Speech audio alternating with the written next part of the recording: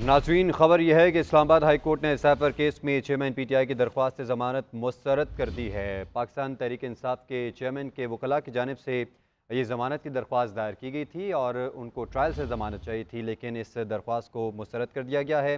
Islamabad high court ने cipher case में chairman P T I की दरख्वास्त ज़मानत मुस्तरद कर दी है। अहम खबर है जिसके हवाले से आपको अपडेट कर रहे हैं। इस पर बात करेंगे दरीस अब्बासी से। दरीस बताएगा जो दरख्वास्त जमानत दायर की गई थी उसको मुस्तरद कर दिया गया इस्लामाबाद हाईकोर्ट की जानब से।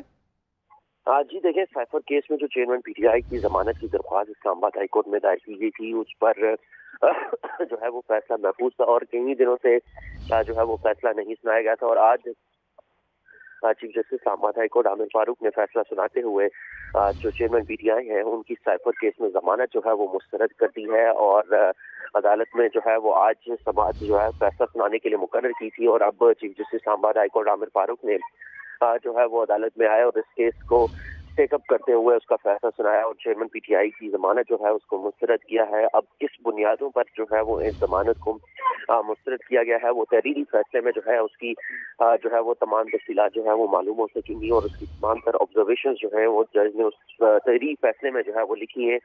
जो फैसला जारी होने के बाद मालूम होगा, लेकिन अदालत ने जो है, वो चेयरमैन पीटीआई की जो साइफर केस में जमानत है, वो मुस्तरद कर दी है। इससे कबल जो है, वो ऑफिशियल सीक्रेट एक अदालत ने जो है वो चेयरमैन पीटीआई की साइफर केस में जमानत जो है वो मुस्तरद की थी और उन्होंने उस ऑर्डर में लिखा था कि चेयरमैन पीटीआई के खिलाफ जो है नाकाबले तरदीद जो है वो शवाहिद मौजूद हैं कि उनकी जिसकी बुनियाद पर उनको जमानत जो है वो नहीं दी जा सकती थी। जिस ऑर्डर को जो है वो पीटीआई वकला ने इस्लामाबाद हाईकोर्ट में चैलेंज किया था और अब यहाँ से भी जो है वो चेयरमैन पीटीआई की जमानत को मुस्तरद कर दिया गया है। जी।